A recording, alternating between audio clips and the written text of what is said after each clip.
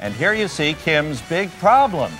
Her toe is stuck in the bathtub faucet. Well, she's called some plumbers, and she wants to see if they can get her toe out of the faucet. Let's watch.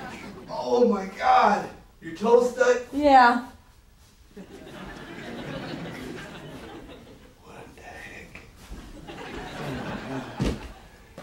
Have you done this before? I.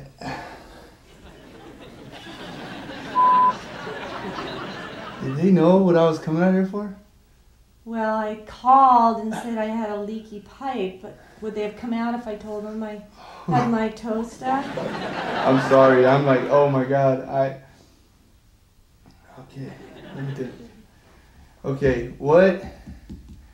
You know, I'm thinking. I don't want to pull it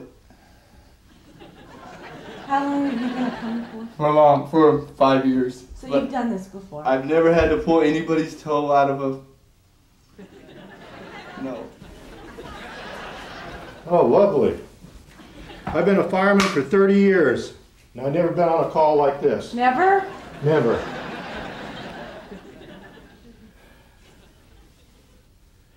How did you do this to start with? So you got Well- one toe in there.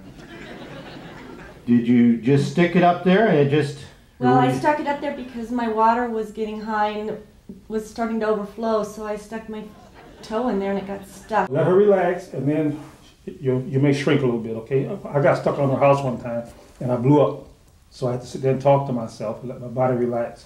That's what you need to do. Just relax. Just relax. Relax as much as you can. Let your body go back to normal. I have a lady here. She's in a tub. She has her big toe stuck in the spout, man. I, I'm it. We're, we're she's. I'm trying to. I tried to loosen the spout, but when I yank on the spout, it starts yanking on her toe, and she's stuck. I am not kidding, man. How much is this going to cost, first of all? For taking your toe out of a tub? Nothing. Nothing? Okay. Can't believe Can you hurry up? I'm tr- I'm trying to hurry. One more can you come here too for one second? And I both want you to look over there and give me a big smile because you're on candid camera. That's a good one.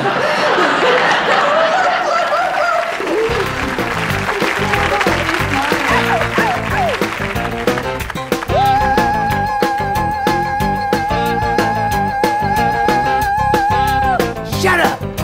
You on Candid Camera.